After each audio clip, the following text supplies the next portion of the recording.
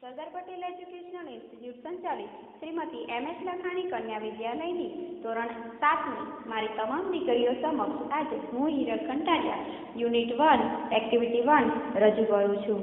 English, unit one વિની smile, activity one, the little one. The little one એક poem છે.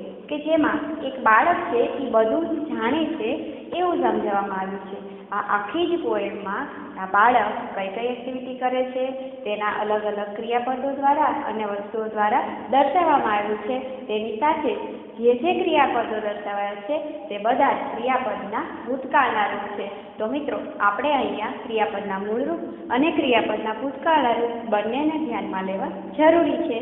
પહેલાં હું આખી જ પોએમ વાંચી લઉં છું અને પછી આપણે વન બાય વન સમજતા જઈએ This is the bag the little one bought.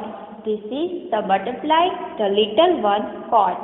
This is the kite the little one flew. This is the whistle the little one blew. This is the bell the little one rang. This is the song the little one sang. White and black and green and red, these are the words the little ones read. These are the pictures the little ones drew. All these things the little ones knew. This is the bag the little one bought.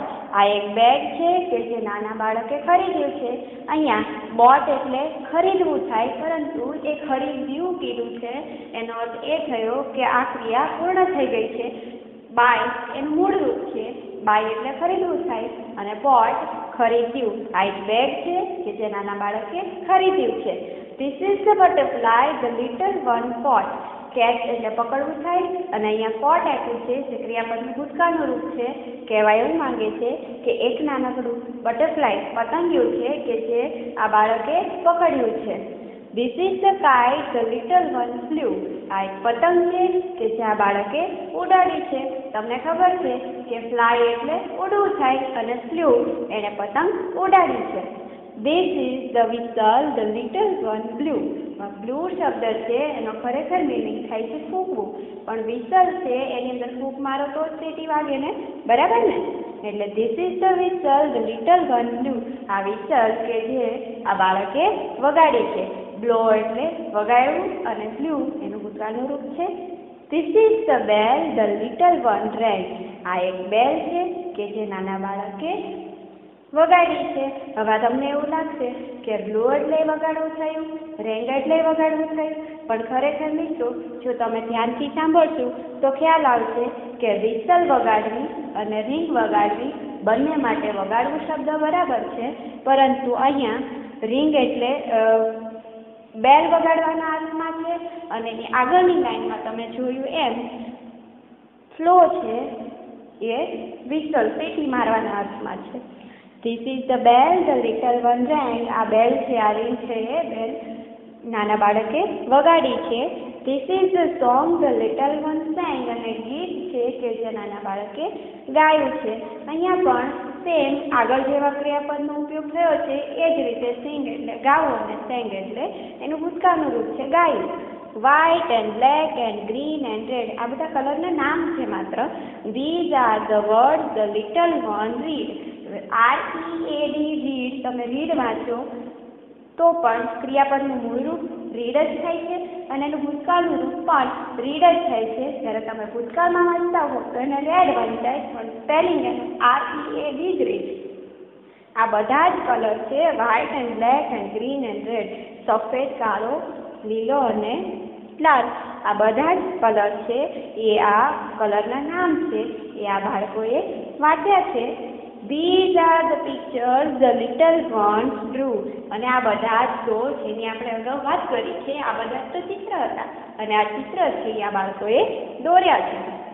All these things the little ones give અને આ બધી જ વસ્તુઓ છે, બધી જ વસ્તુ એટલે શું? કે પોએમમાં ઉપરથી લઈને આપણે જે જે વસ્તુઓની વાત કરી છે, આ બધી જ વસ્તુઓ આ બાળકો જાણતા હતા.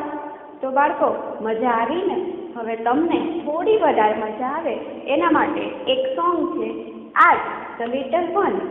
એ ગાવામાં મ્યુઝિક સાથે એટલી મજા આવશે એ તમારા આનંદ માટે અને તમને યાદ રહી છે એ માટે તમારા માટે આ સોંગ અને એની સાથે તમને જે જે ક્રિયાપદ છે એ ચિત્ર પ્રમાણે દર્શાવવાનો મેં પ્રયત્ન કર્યો છે, તો એ પણ સાથે સંભળાવી અને દર્શાવી દઈશ.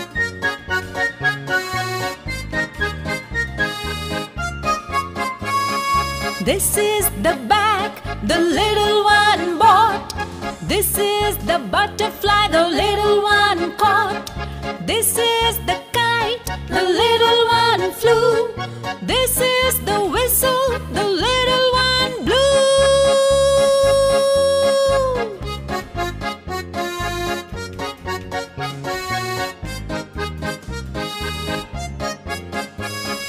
This is the bell the little one rang. This is the song the little one sang. White and black and green and red.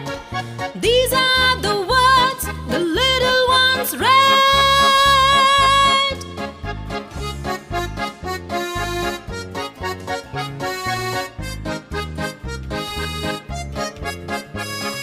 These are the pictures the little is true.